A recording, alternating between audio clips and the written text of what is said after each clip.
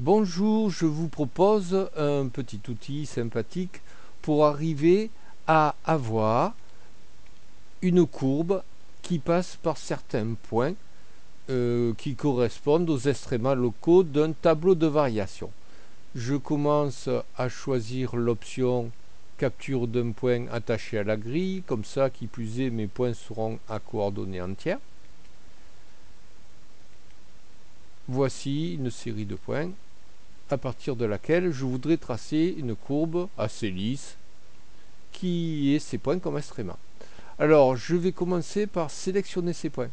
Pour cela, je vais dans la rubrique déplacer de la première série d'icônes.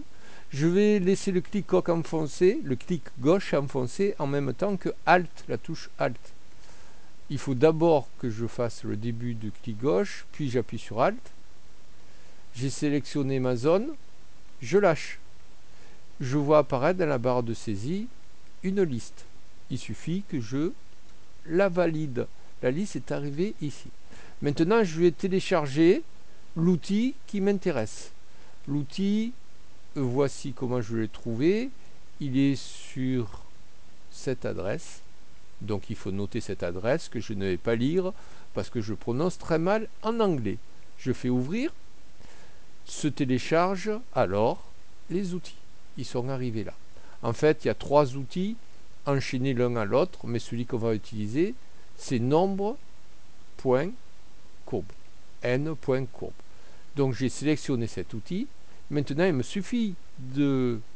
Il suffit que je clique sur la liste et vous voyez une courbe qui se trace. En fait, c'est une liste de courbes entre chacun des points. Cette euh, courbe est dynamique. Si je déplace C, elle va se déplacer.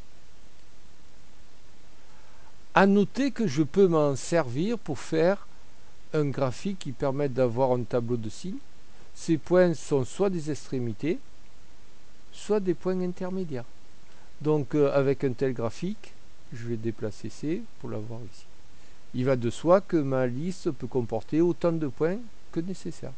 Je vais déplacer E, ça sera plus joli par là. Et voici une courbe pour laquelle je suis sûr que mes élèves auront un tableau de signes avec des coordonnées entières.